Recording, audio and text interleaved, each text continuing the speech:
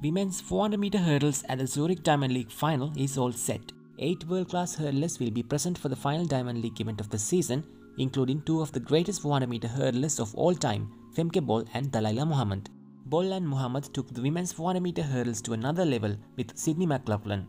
McLaughlin became the first woman to break 52 and 51 second barriers for the event. McLaughlin will not be in action in Zurich, but the fans will get to see the battle of Bol and Muhammad.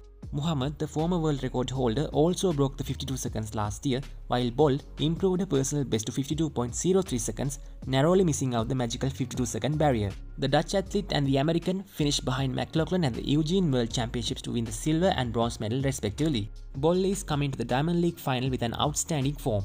She has won four Diamond League events this year in Rome, Oslo, Stockholm and Lausanne. Bol also won the 400 flat and 400 hurdles gold medals at the European Athletics Championships becoming the first female athlete to do the 400 and 400 meter hurdles double at a major championship. Bol has a 49.44 seconds flat speed for the 400 meters, which should be enough for a podium finish at a global championship.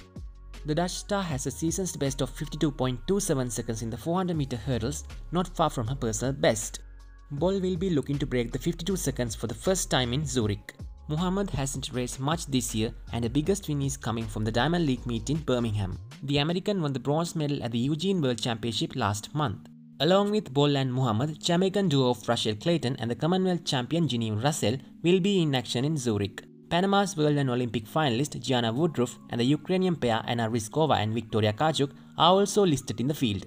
The Ukrainians made the podium at the European Championships behind Femke Bol. The other athlete to include in the field is Ayomide Folorunso of Italy. Do you think Muhammad will push Bol to break the 52 seconds tomorrow?